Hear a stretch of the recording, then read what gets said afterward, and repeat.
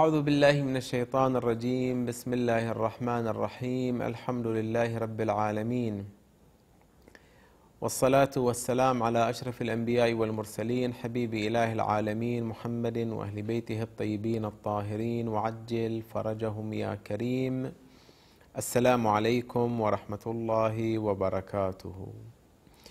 قلنا بأن جملة من الفقهاء ذهب إلى أن من مبطلات الصوم تعمد الكذب على الله أو النبي صلى الله عليه وآله أو الأئمة عليهم السلام. واحتاط بعضهم في إلحاق ذلك إلحاق السيدة الزهراء عليها السلام بذلك واحتاط أيضا البعض في إلحاق سائر الأنبياء والأوصياء. قلنا هناك إشكالية تقع بالنسبة إلى من يعلم أن قراءة القرآن لا يضبطها يعلم أن عليه أخطاء أثناء القراءة. بالتالي يجوز أن يقرأ القرآن في نهار شهر رمضان مع علمه أنه يقرأه بنحو خطأ عليه أخطاء.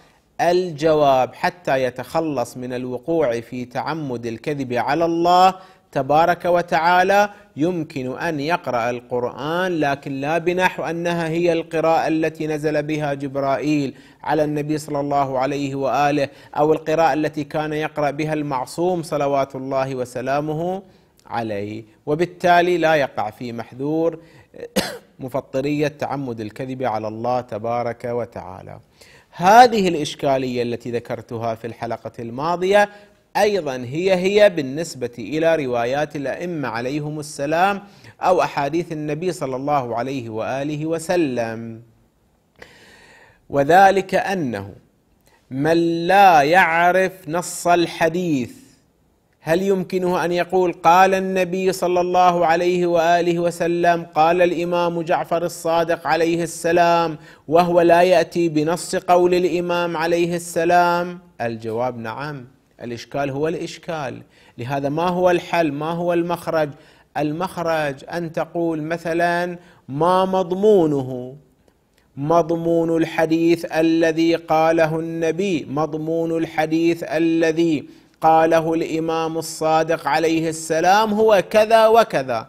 أن تأتي بالمضمون لا أن تأتي بالنص وأنت تعلم بأن هذا النص ليس هو مما قاله الإمام المعصوم صلوات الله وسلامه عليه.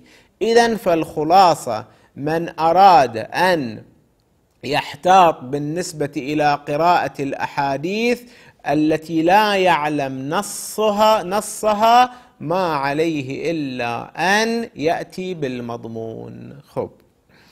يبقى الكلام أنه إذا جاءت أحاديث عبر مواقع التواصل الاجتماعي.